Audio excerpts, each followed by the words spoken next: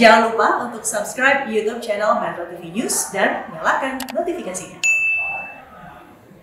Kepala Staf Angkatan Darat Jenderal TNI Duduk Abdurrahman menyerahkan bantuan satu unit rumah dan satu sumur bor kepada warga di Desa Pindu, Wangga Wundut, Kecamatan Lewa, Kabupaten Sumba Timur, Nusa Tenggara Timur pada hari Jumat.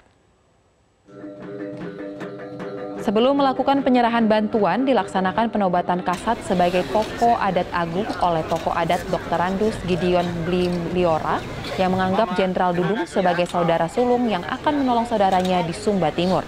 Penyerahan satu unit rumah untuk janda tua yang hidup sendiri dan satu sumur bor untuk warga desa tersebut diserahkan oleh Kasat secara simbolis yang dihadiri oleh Bupati Sumba Timur, pimpinan DPRD Sumba, Sumba Timur, FKPD Kabupaten Sumba Timur, tokoh adat, tokoh agama, dan tokoh masyarakat. Selain itu, warga masyarakat desa Pindu Wanggawundut juga ikut hadir dalam penyerahan bantuan ini.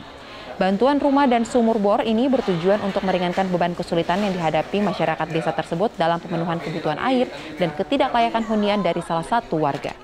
Ini merupakan realisasi dari salah satu perintah harian Kasat agar TNI AD harus hadir di tengah-tengah kesulitan masyarakat, apa pun bentuknya dan senantiasa menjadi solusi.